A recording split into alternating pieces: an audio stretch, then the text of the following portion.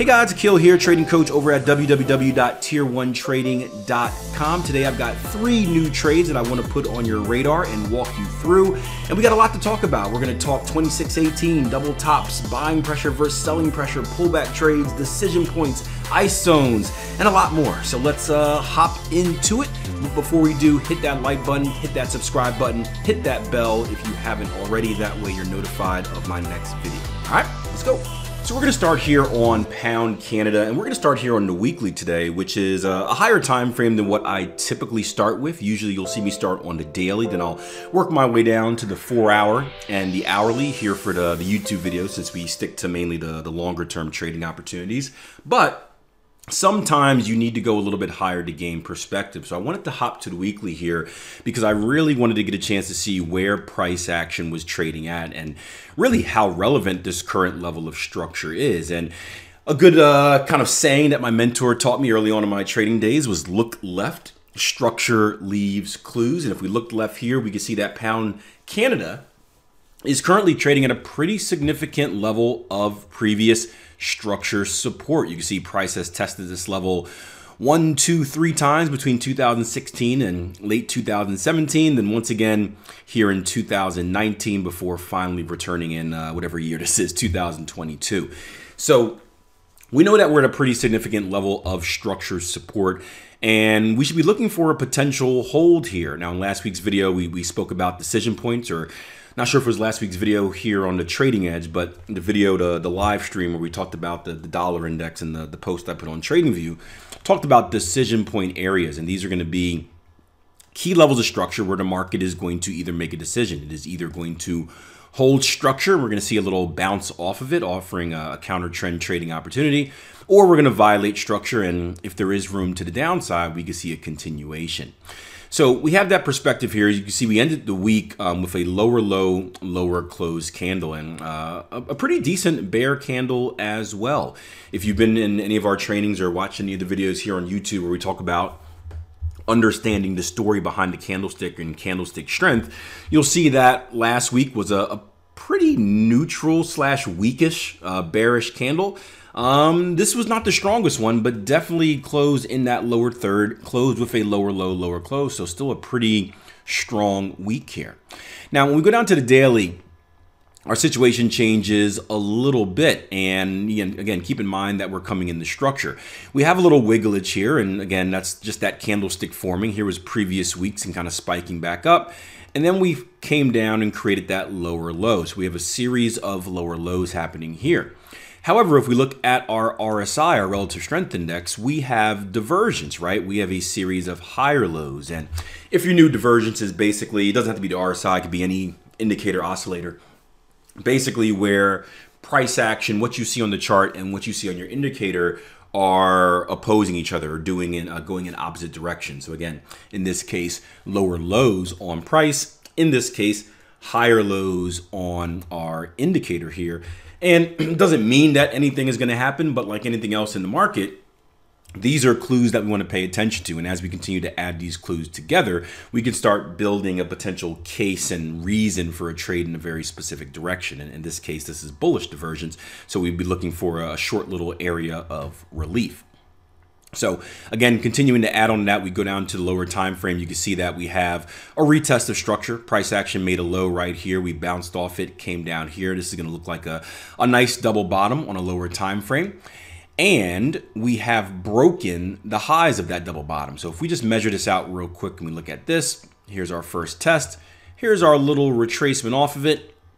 Here's our second test giving us a valid double bottom after we break the peak, right? I don't know if there's a technical term for this. I just call it the peak. Um, after we break the peak of this, this confirms the double bottom and offers two things. It offers, um, it, I mean, you can you can be aggressive and buy to the upside right on the, the break, or you can wait for a retest. And then if we get a retest either to structure or down here, this would be called a 2618 opportunity, which is essentially a secondary opportunity at entering a double bottom.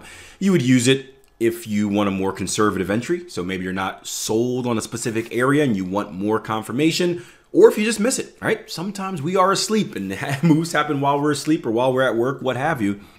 This can be a secondary reason to get involved. The final question is if we get involved, where are we likely to go to? And our next level of structure is going to be right up here. Now, we call these big things elephant candles. If you're familiar with supply and demand, these are going to stand out to you.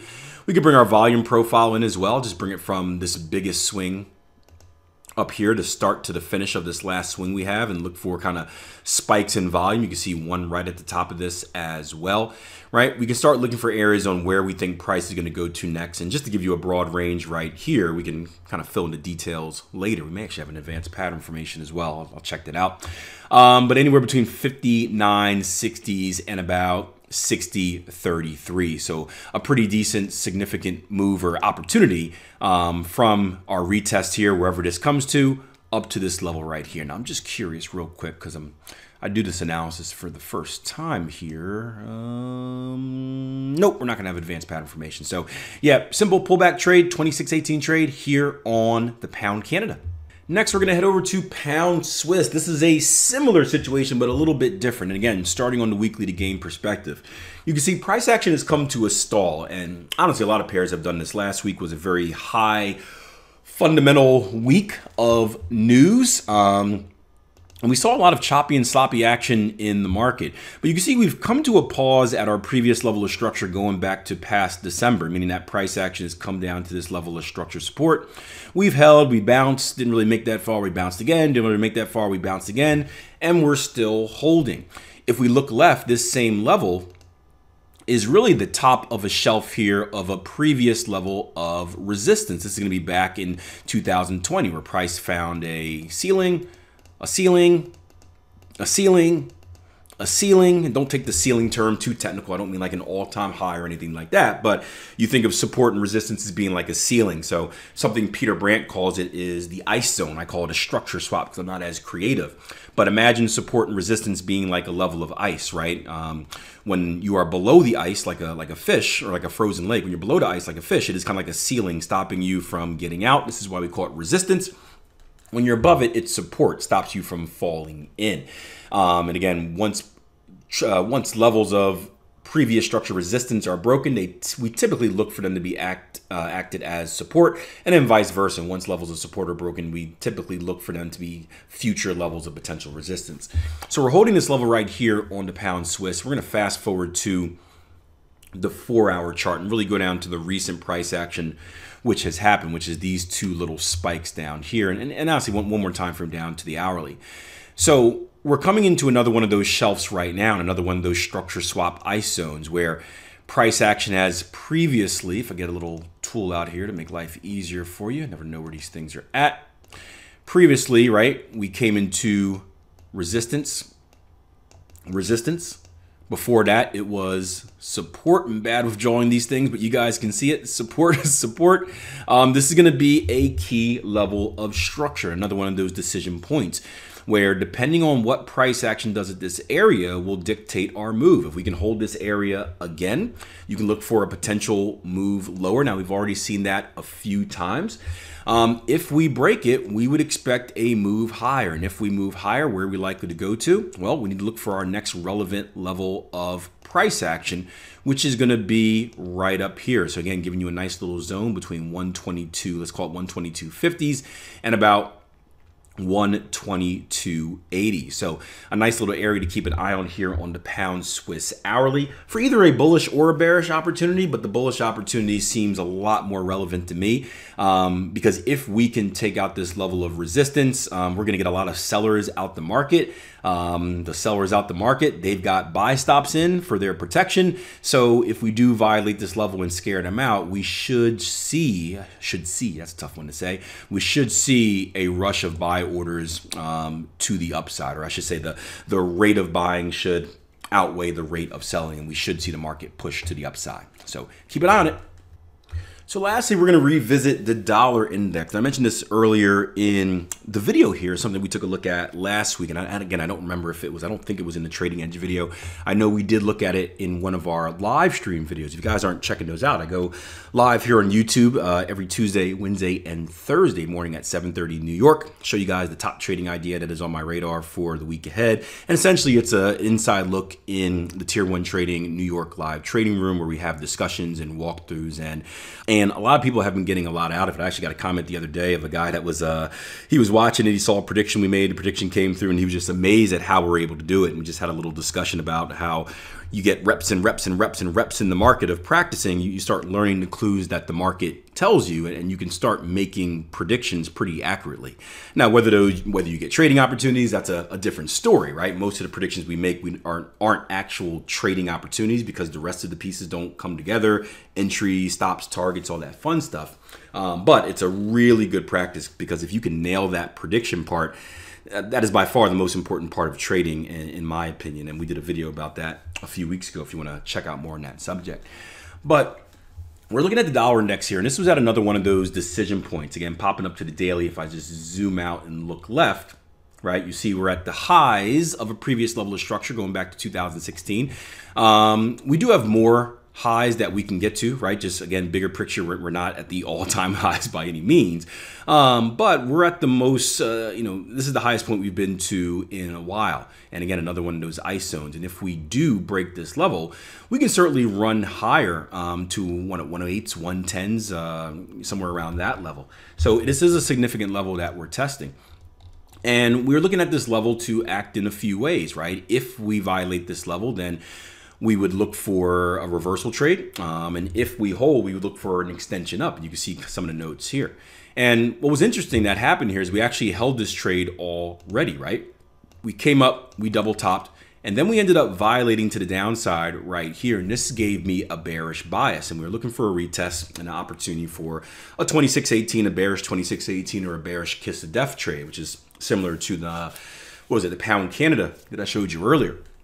Now, we rallied all the way up to the highs, and this is the interesting point, right? We got a break and close above, which technically gives us our violation, but then we got an engulfing candle directly after, which for me um, means a false breakout. So we ignore that first signal. So we're still holding structure as far as I'm concerned. This would have been a an aggressive but a, good entry for a sell right here in the bearish candle.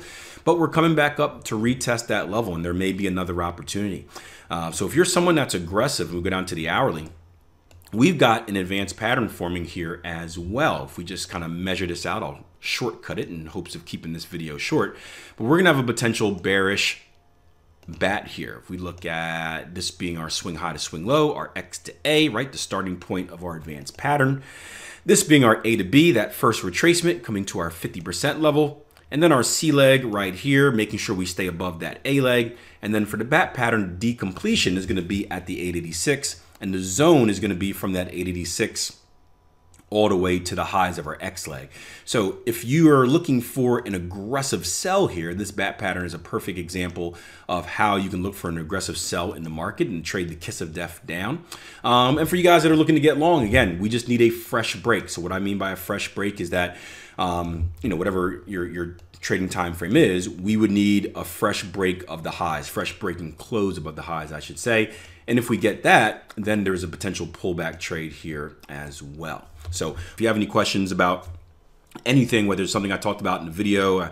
I, know I tend to talk fast if you want clarity on something. Um, I do read all the comments, so let me know. Uh, many of them do become episodes of the Trading Coach podcast as well. And if you haven't heard that, it comes out every Monday, Wednesday, and Friday on your favorite podcasting app, now on Amazon and Audible as well. They're mostly quick little podcast episodes, under 20 minutes. I try to keep them with just relevant, helpful uh, uh, information on uh, how you can become a better trader, a better entrepreneur, and uh, hopefully a, a, better person in general. So the lessons that I learn and the lessons that I teach to traders that I work with regular, on a regular basis are talked about in that podcast to help you guys that don't have a chance to kind of be part of the inner circle here. So trying to do as much as I can. And all I ask in response is just uh, support what I'm doing here um, and taking a few seconds to hit the like button. Uh, sharing it is uh, probably the best thing that you can do. So I'll see you guys next week for the live stream. Again, Tuesday, Wednesday, and Thursday, 7.30 a.m. New York time. I'll see you next week for the Trading Edge video as well. And of course, I'll see you around on social media land because